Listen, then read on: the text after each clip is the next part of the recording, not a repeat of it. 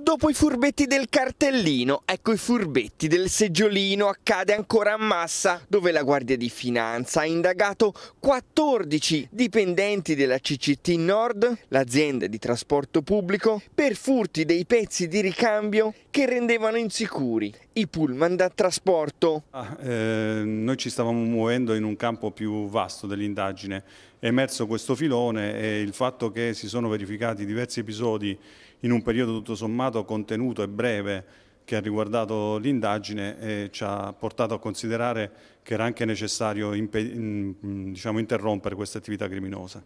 E nelle immagini si vede che il bus arancione si ferma davanti al distributore interno. Scende un signore con una tanica in mano, la riempie di gasolio e poi fa rifornimento al bus.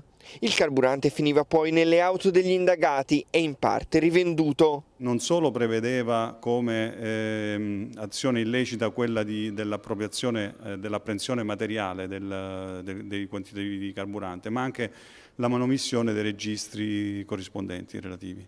E qua in Piazza delle Corriere, nel centro di Massa, c'è poca voglia di parlare da parte degli autisti che si dicono dispiaciuti dell'accaduto. Non riesco a non dire niente, sono rimasto male e basta. È rimasto male?